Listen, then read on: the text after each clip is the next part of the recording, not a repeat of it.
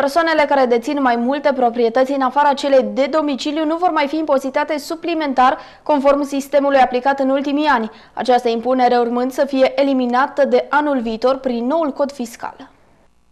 Legislația actuală impune persoanelor fizice care au în proprietate două sau mai multe clădiri un impozit majorat cu 65% pentru prima clădire în afara celei de adresa de domiciliu, cu 150% pentru a doua clădire și cu 300% pentru a treia clădire și următoarele în afara celei de la adresa de domiciliu. Ultima formă a proiectului noului cod fiscal redactată după retragerea documentului de pe site-ul Ministerului Finanțelor indică însă faptul că această impozitare suplimentară va fi eliminată. Renunțarea la impozitarea suplimentară în cazul persoanelor care dețin mai multe proprietăți în afara celei de domiciliu este explicată de guvern prin faptul că această măsură a fost considerată inechitabilă de către contribuabili și a generat numeroase probleme de administrare la nivel local.